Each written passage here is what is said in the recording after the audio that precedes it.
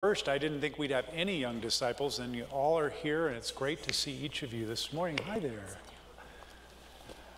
Well, I'm Pastor Carl, and um, I want to tell you what the adults and I are going to be thinking about later today when the sermon. We're thinking about Jesus and what he calls his upside down kingdom. Can you say that? Upside down kingdom. Now, this means that what Jesus tells us often is upside down. It's like, doesn't make sense. Jesus, what do you mean? He says things like, if you want to win, you got to lose. If you want to be first, you got to be last. If you want to be the leader, you got to serve everybody. What does that mean? It's upside down. It makes no sense at all. Or does it? I want to give you each something to think about. This is for you to keep. It's just a little something I want to tell you about. And then you can talk with your parents about it later. It's just a little picture I found on the internet. And I think it captures what I want to tell the, the adults about. There you go. And you take a look at it while I pass it out. And you tell me the two things you see. There are two things on here. Don't tell me yet, but tell me when I ask you in just a second. They're kind of, here, there you go. And let's see. There you go. All right, and you get one too. Everybody get one? Okay. What two things do you see on the picture? Very good. She jumped right in. A crown and a cross. That's right. There's a cross and then there's a crown sitting on it. And then there's a statement beneath it. Can anybody here read? Could you read it for us? No cross, no crown. No cross, no crown. Now, let's just remember that for a, a crown, who wears a crown?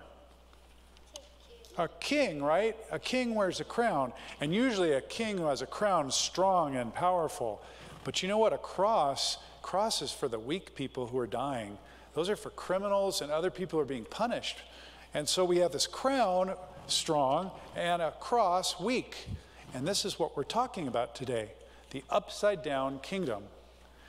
So here's what it means if you go to school and you see someone and you want to maybe have a running race with them or play some game with them and you really want to beat them, well, that's, that's normal to want that. But sometimes you might want to think twice. And think, maybe I'll let them win. Or maybe I'll help this person and, and, and focus on them and not on me. And when you do that, you're doing upside down work, the work of Jesus.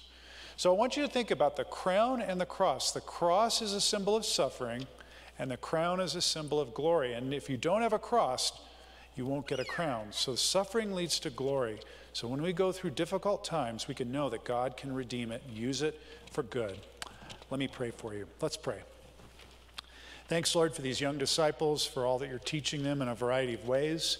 Help them to draw closer to you in this season we call Lent. In Jesus' name we pray. Amen. Thanks, guys. See you later.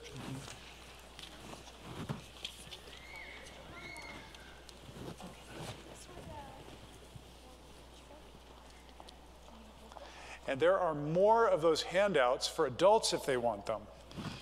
Come see me after the service. Well, before we begin the message this morning, a couple items I wanted to share with you. A lot of you know about my mother. My mom is battling stage four cancer. Started in her lungs, now it's all over her body. And Rupali and I went last week to see my mom and my dad in Southern California. Mom is in a good, stable place for now. She's not in any pain. She's, uh, she's able to have a conversation for about 15 minutes and she's got to lie down. But we're really glad we saw her and would ask that you continue to pray for her and for my dad. Also, I want you to know about Holy Week. If you don't know what's coming, let me tell you. Maundy Thursday, Thursday before Easter Sunday, the 17th, so back up, I'm not sure of the date. It's, yeah, I have it, 14th. Maundy Thursday in the chapel, 7 p.m., is a praise and worship service and communion that Joe Cutshaw will be leading. It's going to be in more of a contemporary flavor. The next night, Good Friday, the 15th, we're going to have a tenebrae service here in the ch- uh, sanctuary, and um, we've designed the service around the Marshall Fire to help us think about the collective suffering we as a community have gone through as an entryway into identifying with Jesus and having Him identify with us. Uh, it's going to be a personal time, a moving time, I think. And if you have neighbors or friends who have been affected by the Marshall Fire, you might want to invite them. I think it would be appropriate to do that. All right, that's enough uh, announcements. Let's get into the sermon. And let me remind you that we are in a sermon series called The Upside Down Kingdom, like I mentioned to the kids. And we are going to look at a hard saying of Jesus. And we're going to look at Matthew 16, beginning at verse 21. Let's take a look at it. Jesus, uh, rather, Matthew tells us this From that time on, Jesus began to explain to his disciples that he must go to Jerusalem and suffer many things at the hands of the elders, the chief priests, and the teachers of the law, and that he must be killed and on the third day be raised to life. Peter took him aside and began to rebuke him. Never, Lord, he said, this shall never happen to you. Jesus turned and said to Peter, Get behind me, Satan. You are a stumbling block to me. You do not have in mind the concerns of God, but merely human concerns. Then Jesus said to his disciples, Whoever wants to be my disciple must deny themselves and take up their cross and follow me.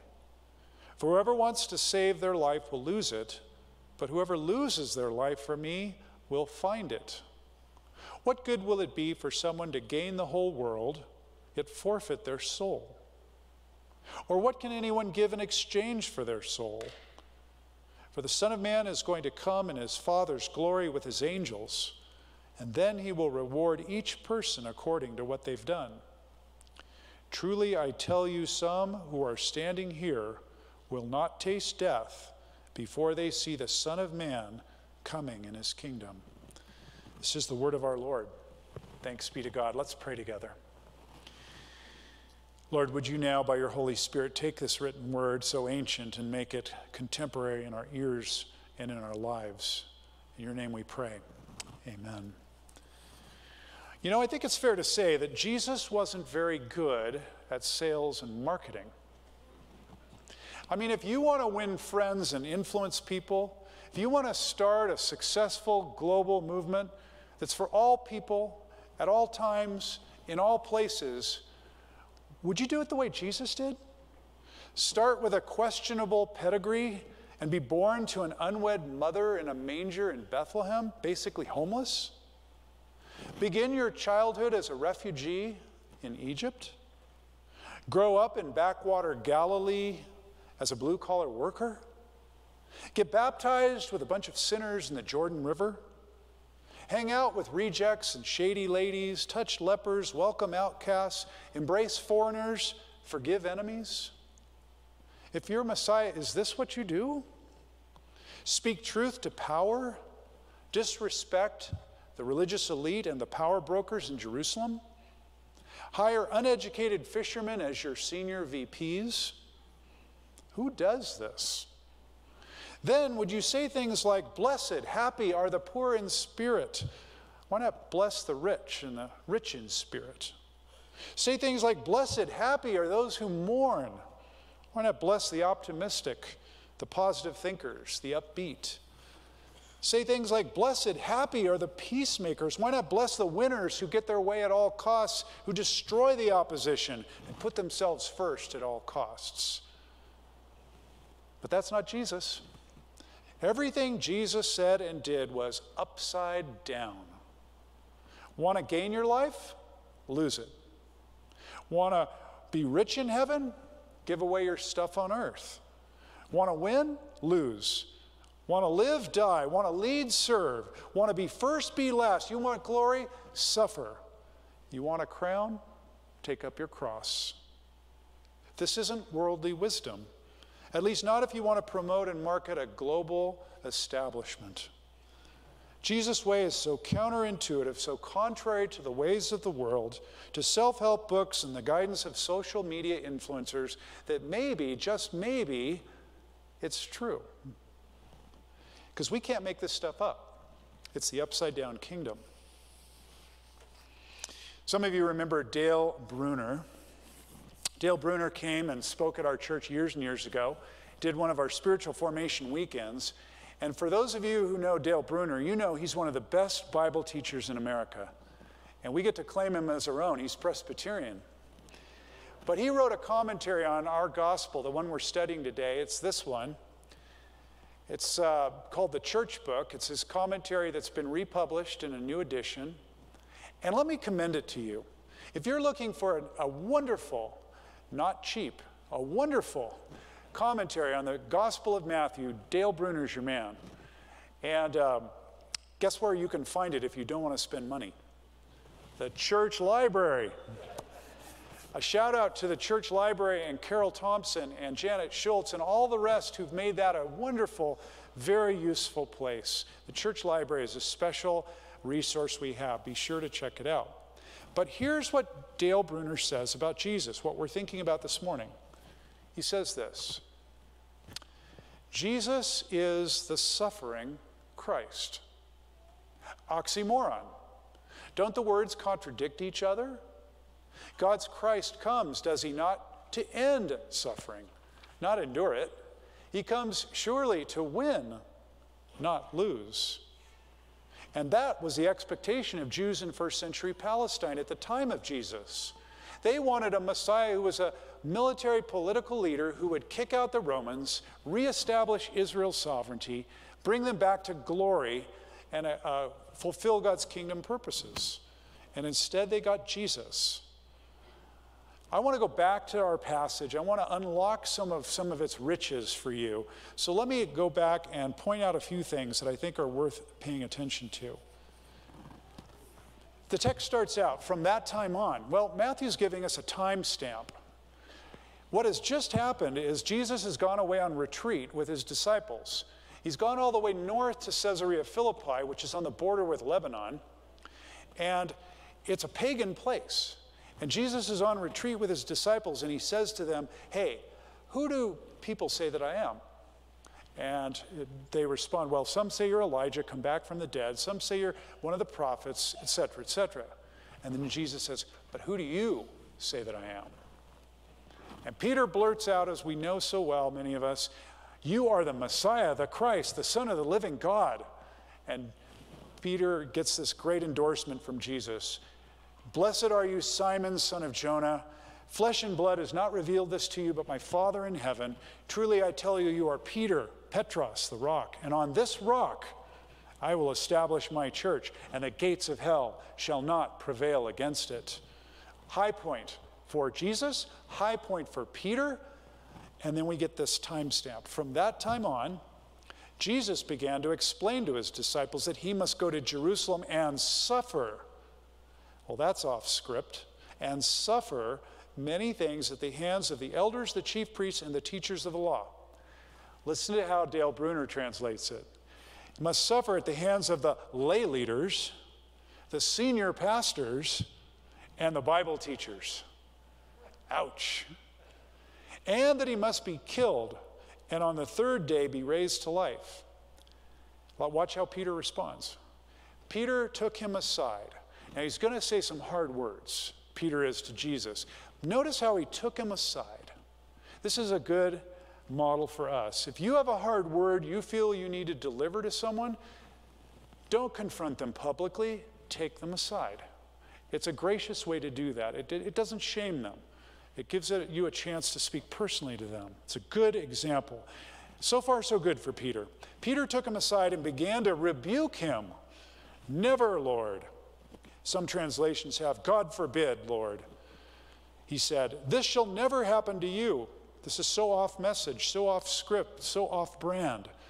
Jesus turned and said to Peter, Get behind me, Satan. We've already met Satan in chapter 4, the tempter of Jesus. You are a stumbling block to me. Stumbling block in Greek, scandalon, word for scandal. A stumbling block is a, is a, is a stone you trip over. So he's saying basically, Rocky, you're the rock, you've just become a stumbling stone. And boy, what an interesting thing that is.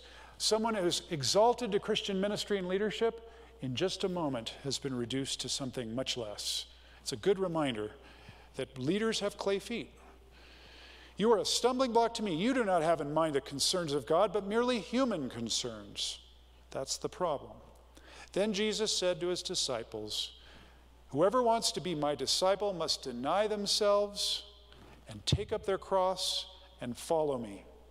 For whoever wants to save their life will lose it, but whoever loses their life for me will find it. What good will it be for someone to gain the whole world, yet forfeit their soul? That's the word for life again. Or what can anyone give in exchange for their soul, for their life?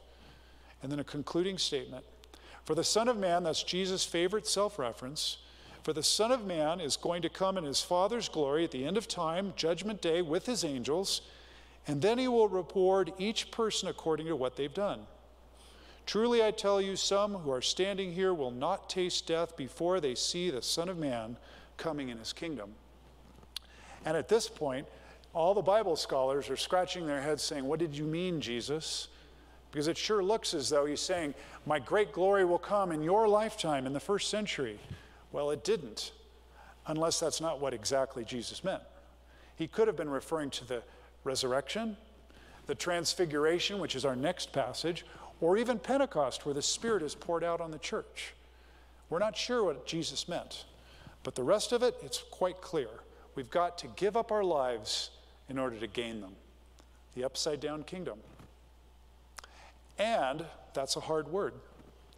Why do we find Jesus' teaching here so hard? I think it's this reason. Suffering and death threaten our impulse, our instinct toward life and comfort. So many things within us want life, want comfort. And when Jesus says that we must suffer and take up a cross, well, this is deeply threatening to us. It's repellent. We need to remember that Jesus is not a nihilist. Jesus does not have a death wish. Jesus is all about life. That's his whole point in coming. Remember, Jesus is the one who said in John chapter 10, verse 10, I came that they might have life and have it abundantly. So Jesus is about something deeper here, and we need to pursue it. He's saying that one type of life we need to discard in order to have another type of life that's more fulfilling. We, Jesus is contrasting these two types of life. So let's begin by thinking what kind of life are we to lose for Jesus? What's that one we need to discard? I think Jesus' teaching and the rest of the New Testament would indicate that it's a life in the flesh, which, as someone once told me, is self spelled backwards, sort of. It's a life where the self is on the throne. It's a self centered life.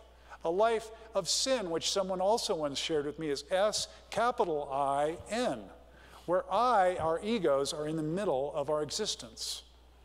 It's a life where self is God. And I love how Eugene Peterson translates these verses in the message. Listen to what he writes. Anyone who intends to come with me, says Jesus, has to let me lead. You're not in the driver's seat, I am. Don't run from suffering, embrace it. Follow me, and I'll show you how. Self help is no help at all. Self sacrifice is the way, my way, to finding yourself, your true self. Wow, that is challenging. A lot of you have heard me uh, preach, uh, share about this in sermons in the past, but it's worth repeating, and I like to give a little background. My sister and her first husband were trained as missionaries to go to Central Asia years and years ago. And as part of their training, the agency they were working with gave them a cultural study on American, North American culture, our culture, and told them that we are characterized by a number of things and that uh, these are different from the countries we go to serve. And when I heard my sister talk about that, I thought, oh my goodness, that's so true. Those characterize my life. And so I've come to embrace, not embrace, but identify the four pillars of the kingdom of Carl, also known as the four C's. See if you can relate to this. We North Americans, I'll just say I myself, prize control. We like to be in control. We prize comfort. We like to be comfortable. We prize convenience. We like things to work and easily for us. and we prize cleanliness. And the scary thing is, in my life, in our lives, we can often co opt our religion in the service of these other ends. We can treat God as a genie in a bottle that if we rub God just right by our good behavior, He'll give us the four C's. A lot of people come to church for these reasons. And unfortunately, these can become idols in our lives and they enslave us. Jesus wants to free us. Dale Bruner again has such a good comment at this point. He says, At the last judgment, some of us will be dumbfounded to discover that what we thought was the innocent seeking of good and beautiful things for ourselves and our children, the four C's, was actually a whoring after alien gods and the use of religion to advance our status. Who of us can escape this indictment? Wow. Wow. Jesus, you see, wants to free us from this other life, this life that is focused on the kingdom of the self, and bring us into true life, fulfilling, lasting life, life that won't let us down. Again, Bruner is to the point with his next comment. Jesus is not anti our life, he's anti preoccupation with our life. Do you follow? When we turn our backs on our lives, surprise, we receive our lives. Make no mistake, Jesus is pro life in the sense that he wants us to give up the false life and live into his true life, life indeed, a free, fulfilling, fearless life, a life that lasts.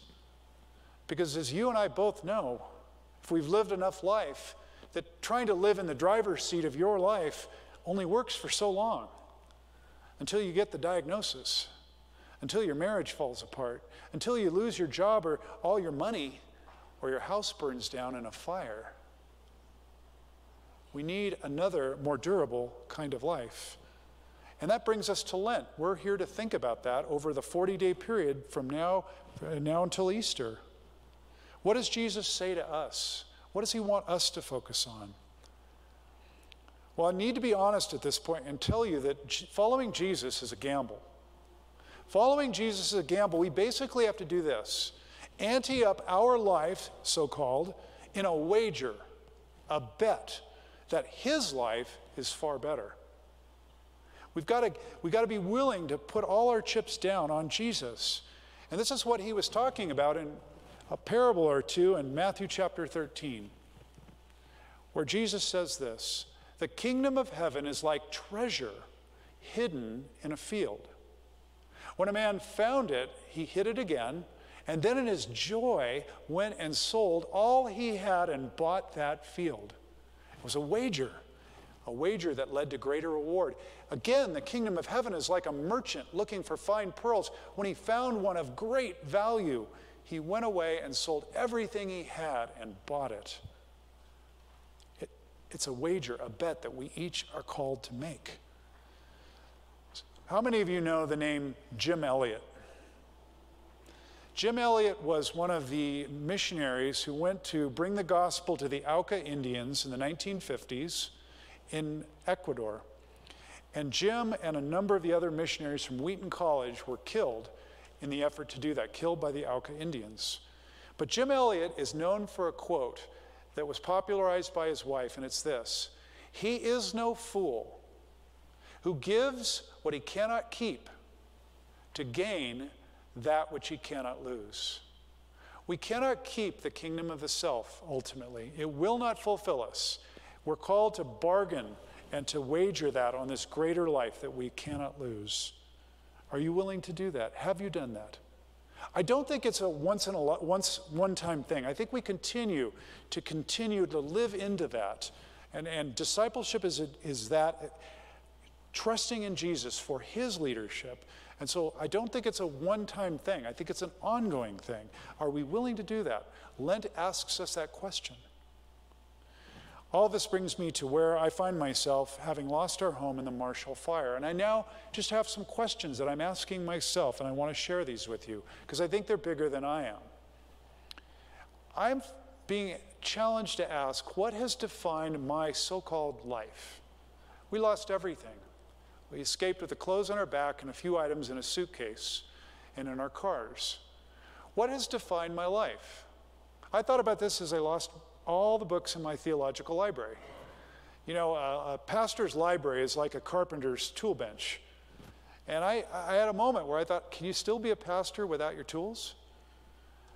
And I, I, am having to ask these questions. And so when I'm stripped of these things, what of my core identity remains? And then a, a more positive question, perhaps, hard as it is, amidst all these losses, what are the potential gains? Where are the hidden blessings? How might this be a severe mercy? Those are my questions. I don't have a lot of answers, but those are the questions I'm asking. And I think ultimately they're questions we all ask as Jesus calls us to this other kind of life. Let me pray for you. Oh Lord, these are hard words, but you are a good and gracious Savior. We know enough about that to trust you a bit, but we need to trust you more. And so we pray for this grace, for you to help us to step into the life that is truly life indeed. Help us to keep our eyes on you as we continue the Lenten journey. In your name we pray. Amen.